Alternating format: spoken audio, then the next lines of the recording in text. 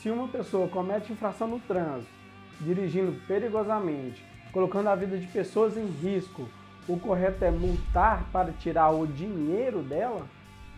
Por que não tirar a carteira de motorista dela e impedi-la de dirigir? Ao multar um pobre em mil reais, que é mais que seu salário, essa pessoa fica cruelmente prejudicada, porque esse dinheiro é para pagar a comida dele e de sua família. A conta de água, conta de luz, tira a qualidade de vida conquistada com o seu trabalho, que, claro, faz ele pensar duas vezes em não cometer infrações, porque dói, dói muito no bolso dele. Thor, filho de Eike Batista, acumula mais de 51 pontos na carteira. Já pagou mais de 10 mil reais de multas e, após pagar, continuou colocando a vida de outras pessoas em risco. Se envolveu em dois acidentes, onde no segundo matou o ciclista. O carro custava mais de 100 mil reais.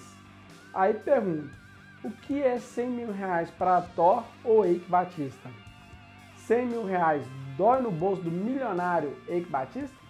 A frase que brasileiro aprende quando dói no bolso é falsa. Essa frase não deveria conformar as pessoas e ser usada como filosofia de punição, porque foi criada apenas para tirar dinheiro das pessoas. E na verdade, quem sente essa dor é apenas os menos favorecidos. O rico não sente dor nenhuma. Também não pode punir as pessoas de acordo com suas riquezas. Tipo, o rico tem mais, ele vai pagar mais para sentir as punições.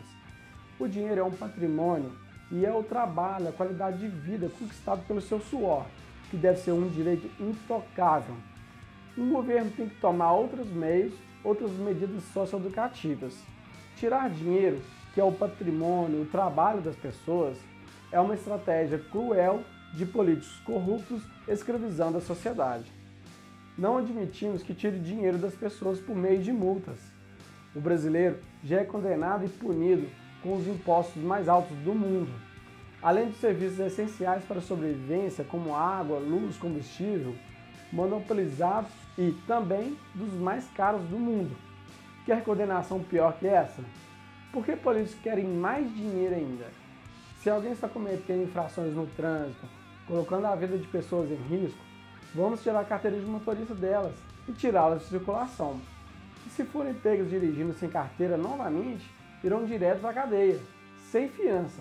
Porque fiança também pune apenas os pobres e não pune os ricos, porque eles apenas pagam e ficam livres, livres mesmos, para continuar cometendo infrações ou crimes. Ficar sem o direito de dirigir é uma penalização muito pior que tirar dinheiro.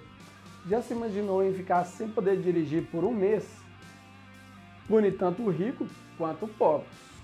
Então não seja ignorante de dizer que brasileiro aprende com dói no bolso porque essa frase foi desenvolvida para conformar as pessoas e aceitar que tire o seu dinheiro, o seu trabalho, o seu patrimônio para uma boa causa.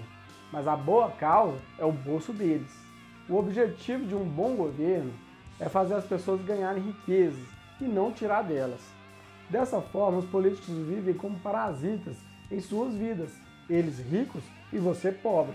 Venha fazer parte do Exército Satyagraha nossa missão é fazer você e todos os brasileiros ricos e autossustentáveis economicamente. Se você gostou do nosso projeto, se inscreva em nosso canal, use nossas plataformas e vídeos. Nossos vídeos não têm direitos autorais e você poderá colocar em seu canal, monetizá-lo e ganhar dinheiro. Assim, ensinamos as pessoas como a economia, a ciência de acumular riquezas funciona. Participe desse exército, dessa missão. Obrigado e até o nosso próximo encontro. Exército Satyagraha, enriquecendo pessoas.